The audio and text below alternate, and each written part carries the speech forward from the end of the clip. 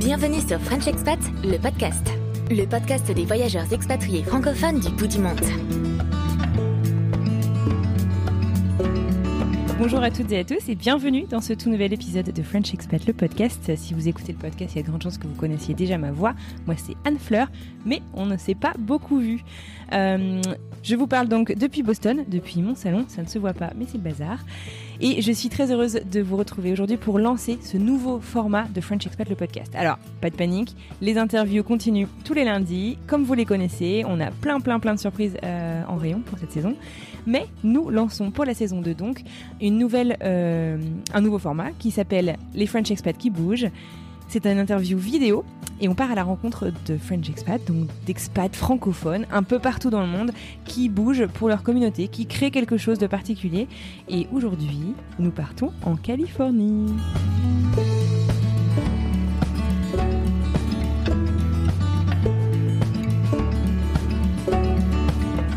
Alors bienvenue dans ce tout premier épisode de French Expat qui bouge. L'épisode est disponible donc en IGTV sur Instagram ainsi que sur votre plateforme de podcast préférée. Alors bienvenue à mon invité. Salut Charlotte, comment ça va? Eh bien, je vais très bien. Merci Anne Fleur de de m'accueillir aujourd'hui dans le podcast. Je suis super contente.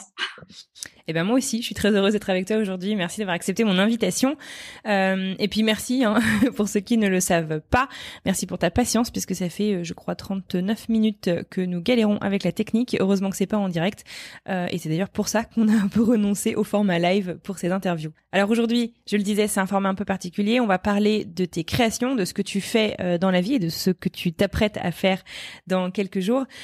Euh, avant de rentrer dans le vif du sujet, est-ce que tu pourrais te présenter ou te représenter pour ceux qui te connaissent pas ou peu, euh, nous dire un peu, bah voilà, qui tu es, euh, quel âge tu as, où tu vis, d'où est-ce que tu nous parles d'un très beau salon, soit dit en passant, et à quoi ressemble un peu ton quotidien. Eh ben, super. Ah, bon, bah alors déjà merci encore une fois de m'accueillir parce que j'ai l'impression de faire partie d'une grande famille. je vous écoute depuis un moment et c'est chouette de, de passer de l'autre côté.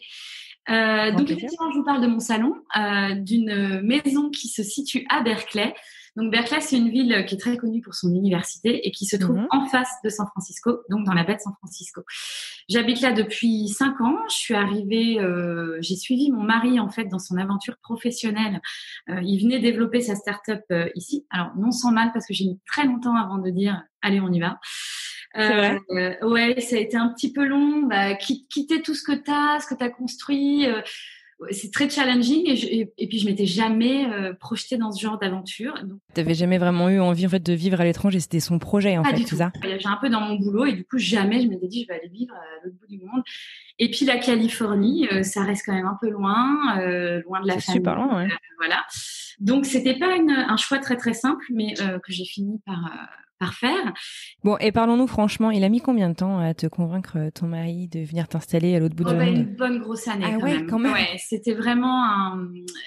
Il avait envie de ça. Il savait que c'était une étape importante pour lui de son développement au niveau de sa boîte. Et du coup, il m'en parlait régulièrement. Puis je laissais un peu le truc couler. Je me disais, ça va lui passer. Et puis ça ne m'est pas passé. Et puis j'ai suivi et c'est vrai que voilà quand on est euh, habitué à être indépendant, euh, euh, se gérer soi-même, se retrouver à suivre son mari, ça met dans une position qui est quand même moi j'ai j'ai beaucoup lutté en fait avec ça. Donc ça c'était il y a cinq ans. En quelques mots, donc je vais avoir bientôt 41 ans, fin du mois d'août là. Félicitations. Euh, voilà. Et, euh, et du coup, euh, eh ben j'avais derrière moi avant d'arriver ici une carrière de journaliste. J'ai un parcours très classique. Je fais des études de lettres, une école de journaliste et j'étais spécialisée à la fois en télé euh, pour des magazines de société mhm. et euh, j'écrivais toujours pour la presse jeunesse principalement. Euh, et c'est vrai que du coup, bah, partir, ça voulait dire, mais qu'est-ce que je vais faire là-bas? Euh, J'étais rédactrice en chef sur des émissions de télé et puis je me voyais pas du tout dans la presse américaine plusieurs titres. C'est une autre manière de faire. Il euh, faut maîtriser des codes culturels euh, que je ne maîtrisais absolument pas. Et du coup, euh, ben, ça demandait de se redéfinir. Donc voilà, expatriation pour moi, c'était sauter un peu dans l'inconnu. c'était un gros challenge parce que ben, j'ai passé plusieurs mois à me dire mais en fait voilà j'avais repris des études de psychologie aussi en parallèle de mon boulot j'étais en région parisienne à Paris Et, et, je me disais, bon, alors mes études ici, bon, ça ne sert à rien. mon boulot, je peux pas le transposer. Je suis dépendante de mon mari, ça va donc très très mal se passer. Je me suis quand même décidée à voir les choses un petit peu plus positivement et je trouve que euh, l'expatriation aussi, euh, le revers de cette partie-là, ça, ça, fait se poser beaucoup de questions, mais ça permet de se rencontrer aussi et de prendre le temps de euh, de se poser les bonnes questions. Qu'est-ce qu'on a, euh, qu'est-ce qui nous motive dans le fond, qu'est-ce qu'on a envie de faire, comment on a envie d'intégrer ce qu'on sait faire à une autre culture, à, un autre environnement. Et de là, euh, ben de là, j'ai commencé par un blog euh, qui a eu un très chouette accueil. Euh, je pense que tout ce qui me réunit, en fait, tout ce qui, dans toutes les expériences que j'ai pu avoir professionnelles ou autres, je pense que le fil rouge, c'est que j'adore l'humain, j'adore les gens, je suis très curieuse de nature et, et j'aime bien les accompagner, d'où l'aspect un peu psycho aussi. Et tu vois, j'ai beaucoup travaillé pour des émissions comme ça se discute, notamment. Euh, c'est ma vie qui était sur M6 à l'époque, où vraiment on donnait la parole euh, aux gens. Il manquait ce petit côté un peu psycho, enfin connaissance mhm. en fait. Euh, et donc de là, je me suis dit, bah, ce qui pourrait allier les deux, c'est d'écrire des bouquins. voilà, j'adore. Bah j'adore les mots, j'adore écrire. J'ai un bah très chouette accueil avec le blog. Et ben pourquoi pas. Et donc l'expatriation m'a permis de on va dire mettre vraiment faire exister un rêve auquel j'avais pas vraiment pensé. Euh, enfin, c'était là en fait, mais pas autant. J'avais toujours dit un jour j'écrirai. Mais là, je me suis dit, bah, c'est peut-être le moment de mettre mes compétences au service de, bah, de mes envies, quoi. J'ai alors, penser. Alors, la question qui me brûle les lèvres un peu là-dessus, si tu veux, c'est, euh, je voudrais qu'on s'arrête un instant sur le cheminement. Parce que tu nous racontes donc ce cheminement, tu nous racontes, bah, bien sûr, c'est l'interview en quelques secondes, tout ça. Tu donnes presque l'impression, en fait, que ça a été facile et rapide. Euh, c'est une question qui se pose énormément, puisque quand on s'expatrie à deux, très, très, très souvent, la grande majorité des cas, il y en a un qui suit euh, l'autre. Et c'est d'ailleurs, sociétalement, j'aime pas trop les clichés, mais c'est vrai, c'est souvent la femme qui suit l'homme. donc j'aimerais bien que tu reviennes un petit peu voilà sur ce cheminement, comment ça s'est passé, euh, bah, le temps que ça t'a pris, mais voilà comment raconte-nous un petit peu. Non, alors effectivement, ça ne se fait absolument pas du jour au lendemain. Je peux même te dire encore à l'heure T, ça fait cinq ans qu'on est là et je me pose encore des questions. Je pense que l'expatriation s'accompagne de tonnes de questionnements euh, sur le plan personnel, professionnel, amicaux. Enfin, ça bouleverse tous les repères en fait. Et donc, ça s'apprend pas en deux minutes. Et euh, moi, j'ai été une première année, on va dire, euh, les, premiers six mois, tu es dans la découverte. Donc, il y a aussi ce côté, j'avais des yeux d'enfant, c'était génial parce que j'avais l'impression d'être en vacances. Puis un jour, j'ai compris, ah non, mais en fait, euh, je suis pas en vacances, je vis là. Donc, je ne vais pas rentrer, retrouver mes petites habitudes et mes petits repères. Il n'y a pas de fin, ouais, bien sûr. Euh, voilà, donc ça s'est accompagné de, j'ai beaucoup parlé, euh, j'ai euh, beaucoup réfléchi, et puis j'ai tâtonné aussi, j'ai essayé. Je me suis dit, bah, je suis ici, c'est bien de bosser pour des boîtes américaines aussi. J'avais la chance d'avoir un permis de travail à cette époque. Et tu maîtrisais bien l'anglais d'ailleurs? Correctement. On va dire que mon accent, euh, au bout de deux minutes, on me dit Oh, you're so French, you're so cute. Mais voilà, donc ça, ça, se voit que je ne suis pas euh, complètement bilingue, ça s'entend, je dirais. Mais par contre, j'avais pas trop de soucis de compréhension et puis je m'exprimais quand même, euh, je me faisais toujours bien comprendre. Ouais, d'accord. Euh, j'ai pu travailler chez Apple, euh, à mhm. Cupertino ici. J'écrivais. Euh, J'écrivais pour Apple Music, donc je faisais des playlists, des bios d'artistes. Ah, c'est toi qui fais que de mettre à jour les playlists que j'écoute avant que je les enregistre. Ok. non, j'ai fait ça plusieurs mois en effet, et c'est vrai que bah, typiquement, c'était une expérience qui a permis euh, de, de, nourrir un peu ce qu'il y avait au fond de moi, tu vois, de se poser les bonnes questions, parce que je me disais, bah, j'adore écrire, c'était très loin de chez moi, donc euh, j'ai mis cours à la, à la, mission au bout d'un certain nombre de temps. Mhm. euh, j'ai eu des soucis de santé et tout ça, et du coup, j'ai arrêté. Mais tu vois, essayer, se confronter. Euh, aussi, j'ai pris, euh, je me suis inscrite à plein de formations. J'ai euh, ici, on avait une, une structure qui s'appelle la Berkeley Adult School où ils offrent plein de formations à des prix très raisonnables. Donc, je me suis dit, bah, j'ai du temps. Je suis une éternelle étudiante. Hein, mhm. J'adore apprendre. Mais l'expatriation, c'est aussi ça, c'est apprendre sur les gens qui t'entourent et puis les rencontres. Sur toi. Euh, ouais, puis c'est un terrain d'opportunité aussi. Ça, c'est un truc que je voyais pas avant de partir. C'est que les questions qu'on se pose, euh, bah oui, c'est compliqué à gérer et c'est dur moralement parfois. il y, a des matins, je me lève, je me dis, il faut tout recommencer à zéro. Je suis fatiguée, j'ai pas envie. Euh, et ça, c'est dur. Et puis, il y a d'autres matins, tu te lèves et tu dis, mais en même temps, c'est super, j'ai un regard d'enfant. Et puis, je suis, je suis comme neuve ici. Donc, euh, il faut en profiter. C'est les opportunités qui ont fait que. Et puis, j'ai écrit un bouquin sur la ménopause pour une maison d'édition française euh, qui mhm. m'a un petit peu mis euh, aussi le pied à l'étrier de me faire confiance sur l'écriture et de me dire, bah, peut-être que dirige-toi vers ça, c'est ce que tu aimes, essaye. Et puis ben, de là, euh, les choses se sont un peu enchaînées. J'ai suivi une formation aux États-Unis sur le, milieu de l'édition, parce que c'est complètement différent euh, ici qu'en France, évidemment. Et du coup, euh, je me suis dit, allez, on se lance. Donc j'ai monté une structure euh, avec mon chéri qui, évidemment, lui, il est moteur dans tout ce changement depuis le début, donc il me soutient beaucoup et il me pousse un petit peu à aller dans mes, dans mes retranchements, à, à aller chercher, à aller puiser un peu les ressources pour, euh, ouais, pour se dépasser et pour essayer de, les projets, moi, je marche à la passion un peu au projet. Et du coup, bah, c'est vrai que bah, les yeux qui brillent, tu fais Ah, c'est super, j'aime bien l'idée.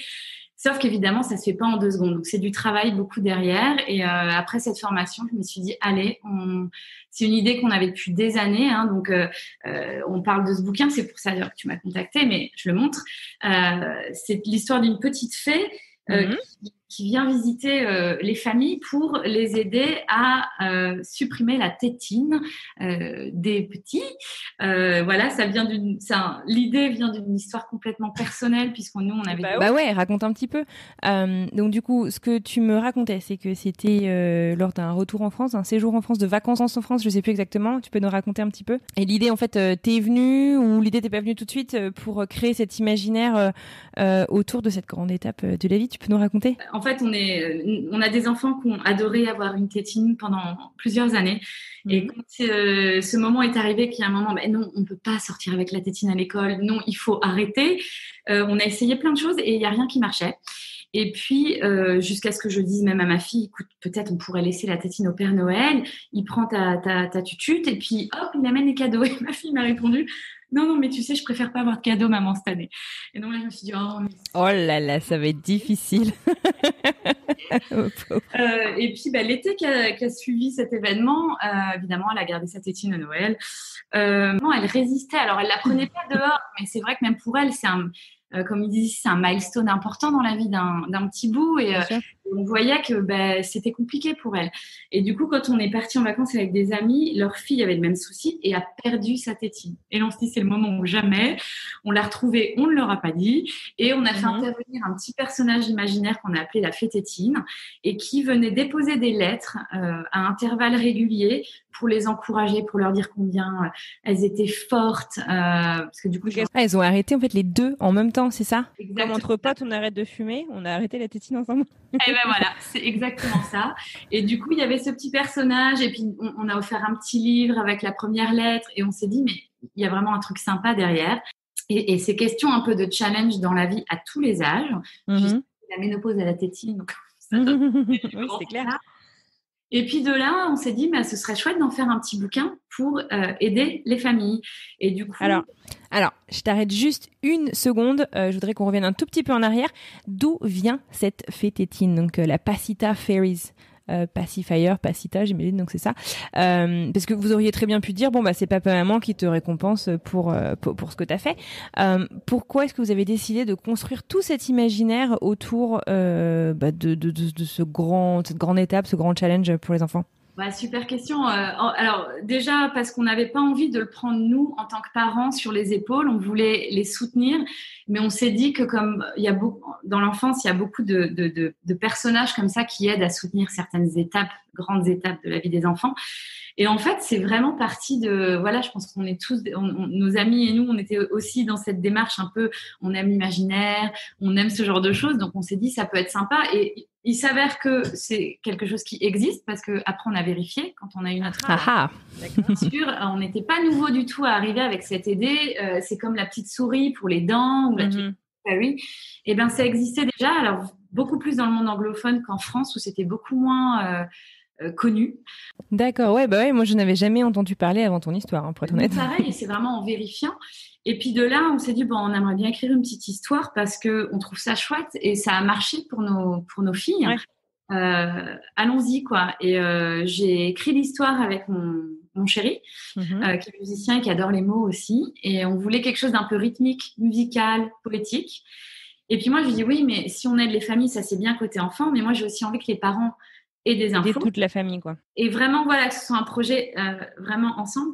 Et donc, on a rajouté des pages à la fin de ce bouquin qui sont des pages d'infos avec plein de petites astuces. Euh, moi, j'ai fait une enquête sur le sujet et euh, j'en ai fait ces pages-là. Et on a aussi interviewé une experte, une psychologue qui a donné son éclairage tu parlais pour rebondir sur la question que tu venais de poser.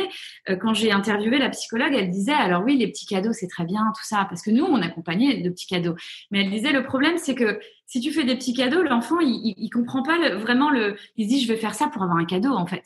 Et du coup, il faut enlever un peu ce côté euh, matériel et vraiment aller axer sur les, les, compétences et les qualités. Le développement de l'enfant. Voilà, va développer, tu vois, parce que c'est vrai qu'il faut du courage, euh, faut de la ténacité, hein, parce que tu peux ne pas l'avoir pendant 24 heures, et puis et puis, il faut mettre des petites stratégies en place, tu vois, au lieu de donner la tétine quand il se fait bobo ou qu'il se sont mm. fait mal, eh ben, tu vas chanter une chanson ou euh, tu vas développer un autre rituel. Et donc, du coup, c'était super bien d'avoir aussi cet éclairage-là. Ouais, non, super, c'est clair. Euh, moi, j'ai eu la chance de pouvoir feuilleter, du coup, euh, le livre avant qu'on se parle et c'est vraiment super bien fait. tu nous as parlé d'ailleurs d'une formation dans l'auto-édition, dans l'édition, justement. C'est moi qui fais cette, cet amalgame. Est-ce que tu peux nous en parler? Du coup, ce n'était pas sur euh, l'auto-édition, c'est ça? Euh, Comment on devient éditeur? Parce que je voulais pas auto-éditer euh, le livre, je voulais vraiment qu'il y ait une structure d'édition derrière. C'est un livre qu'on avait signé avec une maison d'édition en France. Et c'est une toute petite structure qui a fait faillite. Et donc, à l'issue de ça, on a, on a pu récupérer nos droits. Et là, je me suis dit, ben, est-ce que j'ai envie de tout recommencer avec une nouvelle maison d'édition? J'ai mes droits, j'ai envie de. Bon, j'aime bien le côté entrepreneuriat, c'était aussi une aventure. On s'est dit, on, lance ce projet. D'accord, ok. Donc du coup, vous avez commencé cette aventure en France. Finalement, vous êtes basé aux États-Unis. Vous décidez donc de relancer. Donc une fois que vous avez récupéré les droits, la suite de cette aventure euh, aux États-Unis, dans un pays anglophone. Euh, donc euh, ça se fait en anglais. Hein. Maintenant, le livre il est en anglais pour ceux qui l'auraient pas compris. tu parlais tout à l'heure, tu vois, de musicalité des mots, que c'était quelque chose qui était très important pour vous. on a beau parler anglais, t'as beau être aux États-Unis depuis cinq ans, t'es pas forcément poète. comment est-ce que tu as travaillé ça? Est-ce que tu t'es fait aider? Euh, comment ça s'est passé? Eh bien, écoute, on a, on s'est fait aider hein, parce que c'est vrai que l'histoire était écrite en français, avec le en français, le jeu de la musicalité en français. Rendre ça en anglais, tu peux le faire de manière un peu euh, un peu froide, j'allais dire, parce que il te manque toujours ce petit truc culturel, je trouve, euh, qui te mhm. permet certains jeux de mots que tu connais pas forcément ou certains usages euh, dans la parole que toi t'as pas. Et donc au départ, on a commencé à vouloir traduire et puis je trouvais que ça, ça restait un peu statique. Et en fait, on a travaillé du coup euh, avec une, une, une coach qui euh, nous avait aidé quand on est arrivé ici, notamment mon mari dans le cadre de son entreprise pour l'anglais, pour la confiance en soi. Et elle est super, elle est vraiment euh, elle est géniale et elle, a vécu en France pendant quatre ans. Elle est mariée à un Français. Donc, elle avait vraiment cette double culture. elle adorait l'idée. Euh, elle, nous a dit, bah, je vais regarder un petit peu. Je lui ai envoyé le texte en français. On a vu ses propositions. on s'est dit, ça marche super bien. Ah, génial. On a travaillé euh, en trio euh, pour l'édition, l'édition américaine, quoi. Et on espère que le français verra le jour. ouais. C'est aussi en projet, quoi. Ouais, ouais, bien sûr. D'accord. On, donc... ici, donc on s'est dit on va pas faire ça en France et le gérer euh, moi, je travaille beaucoup avec la France. Et puis, à un moment donné, tu dis, ben non, je vis ici. Si je pouvais quand même vivre les choses là où je vis, c'est quand même un peu mieux. Quand même. Contribuer, du coup, contribuer à la communauté locale. Euh, en tant qu'expat, c'est une grande fierté aussi. Enfin, enfin expat, immigrant, euh, peu importe comment on s'appelle finalement. Mais ouais, non, c'est vraiment super. du coup, je voulais te demander aussi. Donc là, au moment où on se parle, on est au mois d'août. Ton livre sort au 1er septembre, donc dans quelques, quelques jours. Ce sera il y a quelques jours quand cette vidéo sortira, certainement mais il devait sortir il y a quelques mois. Évidemment, euh, il y a le contexte mondial que tu connais, qu'on connaît tous, euh, qui est le coronavirus, la pandémie. Euh, comment est-ce que ça se passe, la promotion? Comment est-ce qu'on lance un livre finalement dans un contexte pareil? Ça doit pas être évident. Tu peux nous en parler un petit peu? J'aimerais te répondre avec, tu vois, le côté expertise. Oui, alors, c'est un apprentissage du quotidien. Hein. Je pense que, ça va avec l'expatriation. Pour moi, c'est une sorte de sport un peu gourmand en énergie, tu vois. Et, et ben, une remise en question permanente. Voilà, c'est pareil. Tu, tu, composes avec les éléments. Évidemment, personne n'attendait le Covid. Il devait sortir en mai. Ah ben, on était en plein confinement, toutes les librairies fermées. Ah, c'est clair. Et puis surtout en Californie, vous n'avez pas été épargné quand même. Hein. Oh, bah, et puis ça, ça s'arrange pas du tout. Hein. On va pas. Euh, voilà, là, c'est les écoles ne réouvrent pas à la rentrée. On est vraiment parti sur un truc qui, je, ne sais pas combien de temps ça prendra, mais c'est compliqué. Donc déjà, on s'est dit effectivement, on n'a pas envie de le sortir maintenant parce que pour nous, c'est comme mettre au monde un bébé euh, qu'on a depuis plusieurs années. Enfin, moi, ma fille, elle, va avoir 10 ans. Euh, l'histoire de cette tétine, c'était quand elle avait 4 ans, 4-5 ans, tu vois. Et donc, du coup, euh, et puis il y a eu l'aventure en France. Et c'est vrai qu'on a envie de faire ça bien. Et là, on s'est dit, moi, je on, on, avait le homeschooling, les enfants à la maison, on était débordés. Du coup, on l'a décalé en septembre, pensant que tout serait réouvert. Donc voilà, on en est, euh, on en est là. Le bouquin sort quand même le 1er septembre. On n'a pas envie de décaler une nouvelle fois. On va s'adapter aussi à ça. Mhm. On va euh, faire beaucoup plus de choses en ligne. Sortir un livre aux États-Unis, c'est un énorme challenge pour des petits Frenchies. Euh, qui débarque et, et, puis il y a eu toute la chaîne de gestion avant, gérer le. On a fait faire ça à Singapour, on voulait que ce soit fait avec du papier euh, dans des forêts responsables. Quand on, se lance, on a. Euh, dans les précédentes boîtes que j'ai que j'ai montées, c'est vrai que on a souvent euh, l'ambition en fait de bien faire, mais c'est vraiment pas facile, surtout quand on se lance. Donc quand on a bah, par définition beaucoup moins de, de moyens. Tu vois, moi dans mon exemple, c'était une campagne de crowdfunding et c'était donc créer en fait euh, des récompenses, des goodies de toutes euh, sortes.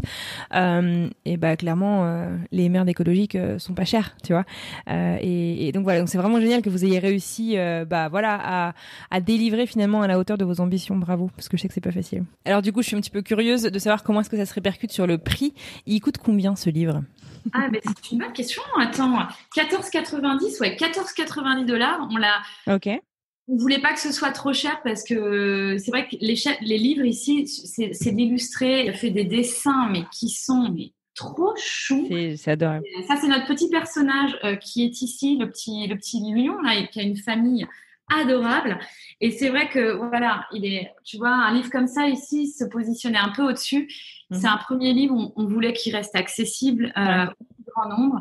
Et puis, on, encore une fois, on apprend. Donc, en fait, ça se trouve, on va pas être très rentable sur ce livre. Et puis, ben, si on en fait d'autres, ce qu'on espère dans la veine de ces petites séries-là, eh ben, on montera peut-être un petit peu le prix. Est-ce que non, ça a très bien fonctionné? On peut se permettre de rester au même prix. Tout ça, ça va s'ajuster. Ah bah ça c'est sûr. On est en pleine promo, on commence tout juste à, à démarcher un petit peu, mais c'est pareil, c'est euh, c'est la jungle. J'ai l'impression d'être partie dans l'Amazonie avec une machette et puis tu peux couper mes Donc, et puis des fois, tu te sens hyper angoissée et c'est exactement comme l'expatriation. Je suis un peu dépassée et on fera du mieux possible.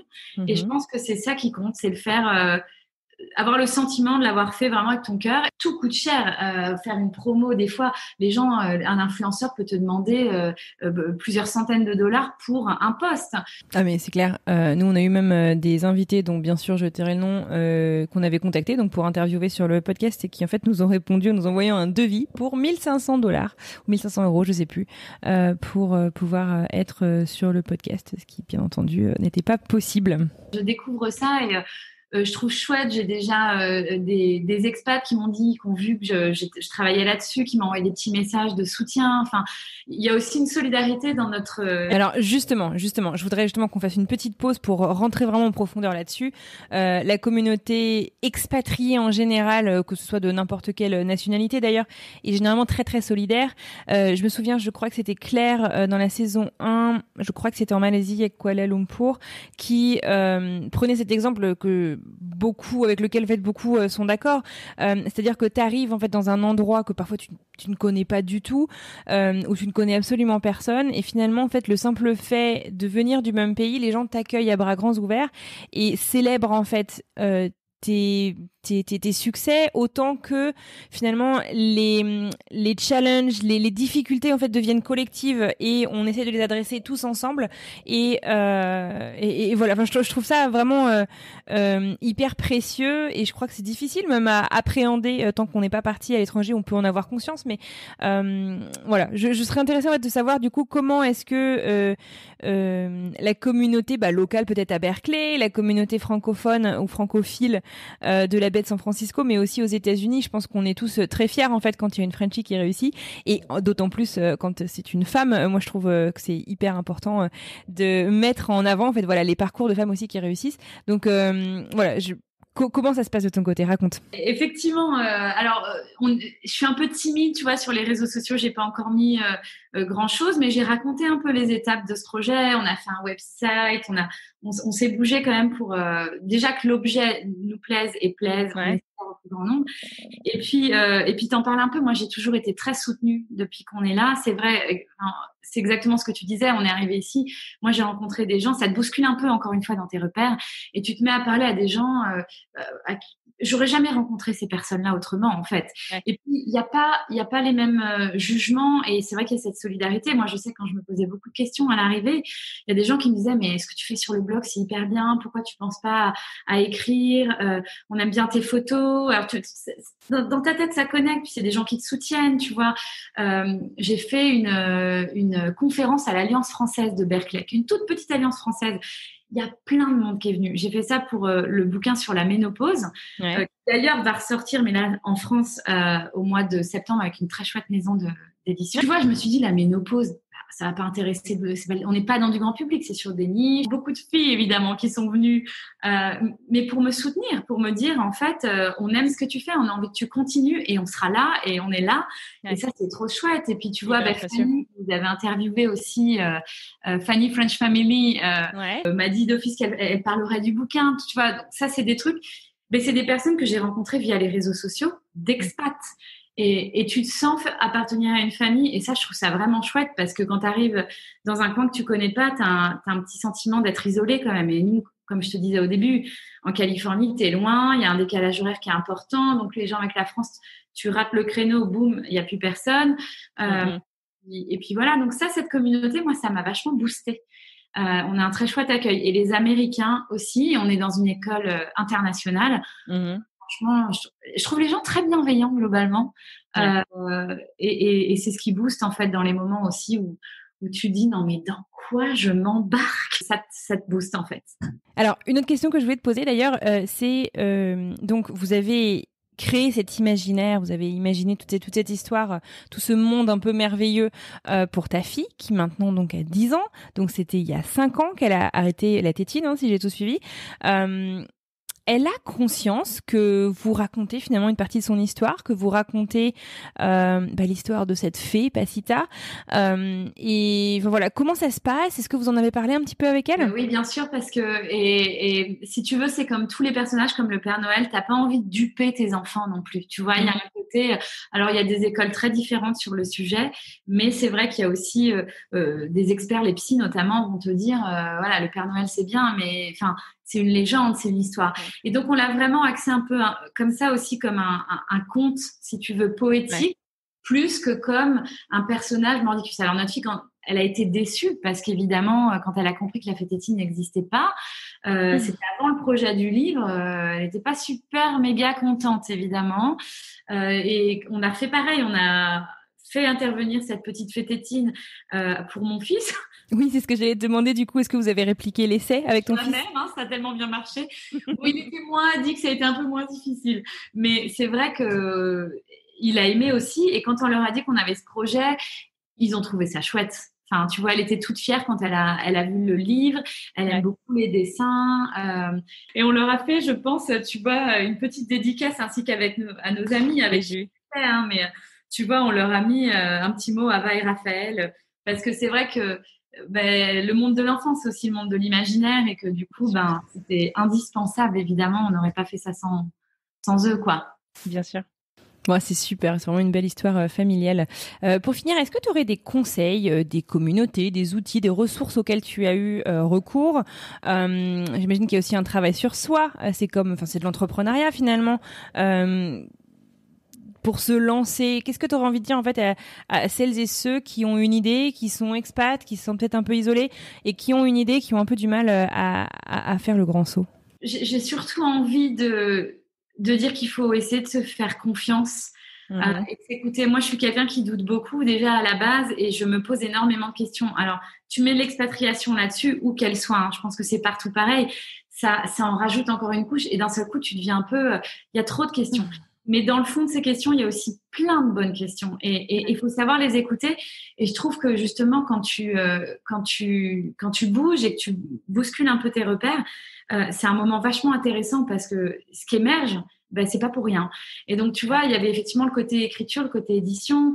Euh, des, des, fois, je me dis, ben, j'avais envie de faire ça, mais effectivement, je l'aurais peut-être pas fait si je m'étais pas sentie aussi bien euh, boostée par les uns et les autres. Peut-être que euh, il y a eu euh, Estelle Tracy, effectivement, depuis le tout début, je, je, suis sur son sur son groupe Facebook de blog parce que ça m'a aussi effectivement aidé à me booster dans le blog. Au début, tu n'as pas de lecteur et puis c'est pas que tu écrives pour les lecteurs, mais tu sais pas comment ça marche. Et donc, du coup, il y a un partage d'expérience qui est vachement intéressant, euh, de compétences aussi, et ça c'est super chouette parce que ça t'aide. Et puis après, je trouve que autour de nous, et ça aussi c'est des opportunités dans les rencontres que tu fais, bah, toutes ces rencontres, c'est des opportunités de d'ouverture euh, à d'autres domaines. De, de, tu vois, je te parlais de la formation, je suis allée voir un petit peu. Euh, j'ai trouvé une formation en ligne ici qui était vraiment top. Je me suis dit, bon, allez, euh, on se lance. En fait, faut pas avoir peur de se lancer et puis il faut tester. Ça veut pas dire que ça marche, hein, tu vois. il n'y a, a, a, aucune garantie à ça. Par contre, je pense que c'est vraiment un élan qui peut être que bon parce que euh, enfin, ça, ça, résonne avec des choses. On a tous besoin de se sentir euh, intégré là où on vit, euh, là où on est. On a envie.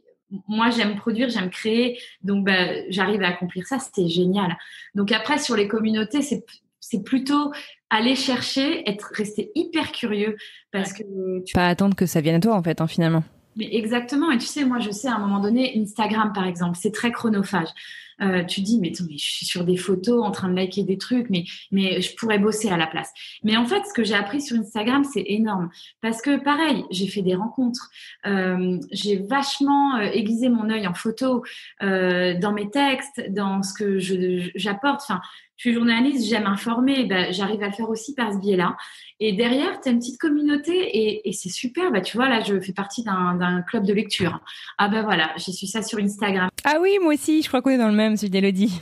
Parce que du coup, tu vois, j'aurais peut-être pas lu ce bouquin. Et puis, euh, et, et, ben en fait, je le lis, que j'aime ou j'aime pas, ça m'a apporté vachement. Et ben, c'est ça en fait. Toutes ces communautés-là, ouais. t'es pas obligé d'adhérer, t'es pas obligé d'aimer, mais par contre, c'est bien de rester curieux et ouvert parce que je trouve que quand t'es expat, c'est un véritable atout.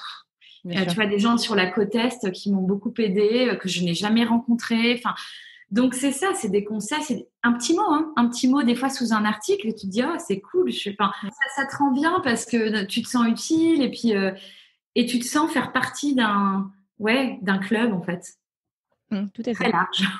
Alors, pour finir, euh, bon, il y a, y a plein, plein, plein, plein de sujets euh, dans lesquels euh, j'aimerais euh, qu'on s'engage dans cette discussion, mais c'est vrai qu'on avait dit que c'était ce format vidéo, on aimerait qu'il soit relativement court. Finalement, je suis pas sûre qu'il soit hyper, hyper court.